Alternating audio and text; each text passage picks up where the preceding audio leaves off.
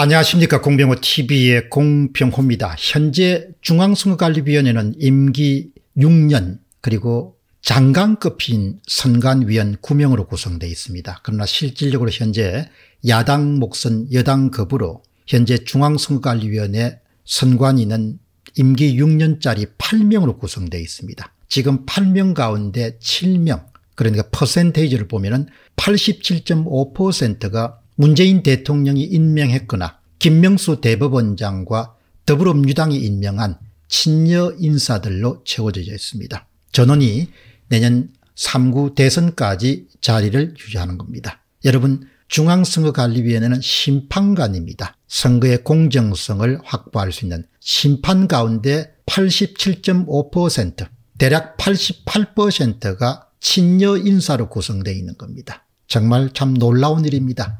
선관위원 가운데 비여권 인사는 1월 여야 합의로 선출됐던 중립 성향의 그것도 친야 성향이 아니고 중립 성향의 조병현 위원 한 명뿐입니다. 야단 몫으로 임명되는 위원 한석은 민주당 측의 반대로 여전히 지금 공석으로 남아 있습니다. 결국 2022년도 3월 9일 날 실시되는 대통령 선거는 실질적으로 8명의 선관위원 가운데 7명 87.5%가 친여 인사로 채워진 채로 대선이 치러지게 될 것으로 봅니다. 그 다음 지방선거도 마찬가지입니다. 선관위원은 축구로 이야기하면 심판관입니다. 심판 8명 가운데 7명이 여당 쪽 사람들이란 것입니다. 세상 사람들은 문재인 대통령 집권 5년 동안 별로 하늘이 없다고 수군거립니다. 그러나 저는 단호하게 생각이 다릅니다. 문 대통령의 치적은 선거를 장악한 것입니다. 그것은 바로 문 대통령을 좋아하는 그런 사람들에게는 최고의 업적일 것입니다. 물론 국민들에게는 정말 재앙 같은 그런 업적이고 앞으로 정말 어려움을 많이 겪는 그런 아마 계기가 될 것입니다. 훗날 역사가들은 문재인 대통령을 참으로 다르게 평가할 것입니다. 그는 선출직 단임제 대통령으로 등장해서 완벽하게 선거를 장악한 사람이다. 그로 인해서 한반도 남쪽에는 그렇고 그런 성격의 정권이 수십 년 동안 지속될 수 있었다. 이렇게 아마 역사가들이 평가하지 않겠냐 훗날에 그렇게 저는 예상을 합니다. 선거의 장악 이것이 바로 문 대통령이 행한 업적입니다. 물론 한쪽의 업적이고 다른 쪽에서는 뭐 업적이 들어갈 수 없겠죠. 그런데 최근에 중앙선거관리위원회 내부에서 일어나고 있는 일을 중앙일보의 강찬호 논설위원이 청와대 선관위 내부 규정 노골적 간섭 대선 개입하겠다는 건가 이런 제목의 글을 내보냈습니다. 중앙선거관리위원회 관련된 그런 신문 기사나 아니면 칼럼은 참으로 쉽지가 않습니다. 예전에 중앙일보의 전영기 그런 칼럼니스트 지금은 시사저널의 편집인으로 가 계신 분이죠. 그분이 이런 선관위에 관련된 그런 아주 묵직한 그런 칼럼을 여러 차례 발표한 적이 있습니다만 오랜만에 강찬호 논설위원이 이 중앙선거관리위원회 문제를 다뤘습니다.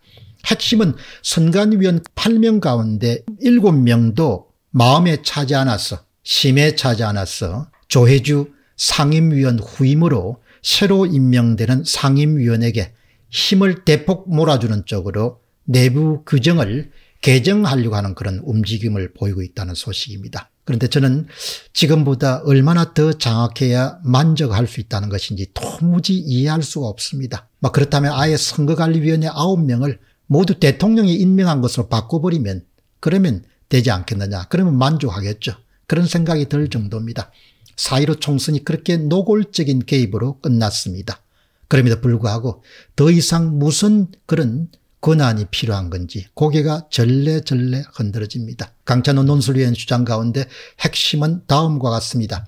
청와대가 중앙선거관리위원회의 의사결정 구조를 추궁하고 관련 자료를 받아간 사실이 드러났다. 이렇게 할 수가 없습니다. 중앙선거관리위원회는 감사원이나 대사법부와 마찬가지로 독립된 기관입니다. 복수의 소식통에 따르면 청와대 관계자는 지난달 선관위의 선관위 상임위원 권한이 과거부터 대폭 축소됐다. 이유가 뭔가라고 질문했다고 합니다. 말이 질문이지 선관위로선 추궁으로 받아들일 수밖에 없었다.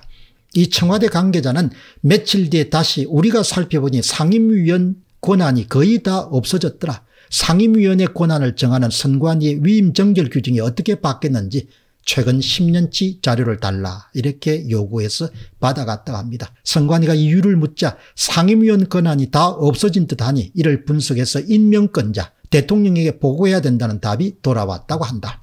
복수의 소식통은 현 조혜주 상임위원이 3년 재직 기간 중 기대만큼 여건에 유리한 성과를 내지 못한 것은 바로 결재권이 없었기 때문이라는 인식이 여건에 퍼져 있다. 조혜주 상임위원이라는 이름이 여러분 참 익숙하시죠. 참 많은 사람들이 입에 오르내린 분입니다. 그런데도 불구하고 성과가 없었다. 이거는 받아들일 수 없는 것이죠. 그러니까 이런 강찬호 논술위원이 이 주제를 선택한 것은 참 칭찬할 만하지만 글전반적인 내용을 미뤄보면 아주 사람들이 오해할 수 있는 그런 표현을 많이 쓴대요. 강찬호 논술위원의 칼럼이 많은 독자들에게 지금 중앙선거관리위원회 상임위원이 결재권이 없을 정도로 공정하고 중립적으로 운영되고 있다. 이런 아주 잘못된 인상을 심어줄 수 있는 것이죠. 대한민국의 이 중견 농객들이 수준이 이렇습니다.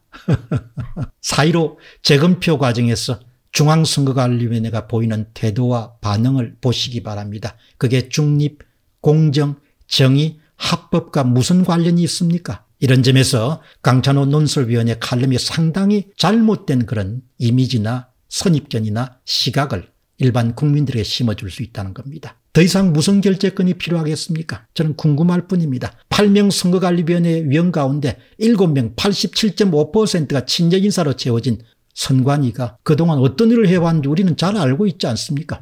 2018년 지방선거, 2020년 총선, 2021년 보궐선거, 2021년 국민의힘의 당대표 선출 등을 보면 너무나 확연하게 모든 것을 다 알 수 있지 않습니까 아무튼 제가 보는 판단은 문 대통령과 같은 편들에게 최고의 치적이 바로 선거 장악입니다. 지금도 많은 국민들은 선거를 한편에서 장악하면 무슨 일이 자기에게 불이익으로 돌아오는지 잘 모르는 것 같습니다. 세금이 200%, 300%, 400%, 500%왜 그렇게 오르는지 그런 것을 깊게 생각을 못하는 것 같습니다. 그래서 오늘 강찬호 논설위원회 중앙선관리위원회에 관한 참 오랜만에 다루는 그런 주제지만 사실을 아는 것에서는 도움이 됐지만 많은 국민들에게 이런 부분에 대해서 깊은 관심을 가지지 않았던 많은 국민들에게는 정말 중앙선거관리위원회가 공정한 기관인 모양이다.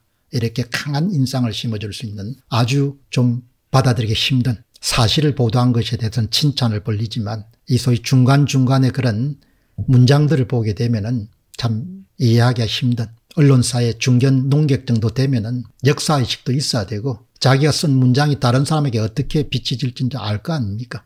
그리고 강찬호 논술위원은 재검표에 대해서도 한두 번 정도 방송을 했던 걸로 알고 있습니다. 세상이 참 공병호 TV의 공병호였습니다. 감사합니다.